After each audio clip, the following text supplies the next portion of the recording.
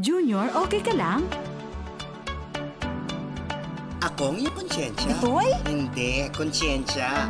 Ang bar solution mo, hindi para sa plato. Dahil ang bar solution, nagiging pugad ng Oo germs. nga. Baka napupunta sa plato yan. Ang kailangan mo ay Joy Antibac with the power of safeguard. Iniiwan ang sponge na may 99.9% germ protection. Mahusay laban sa sebo. At mas protektado ang pamilya.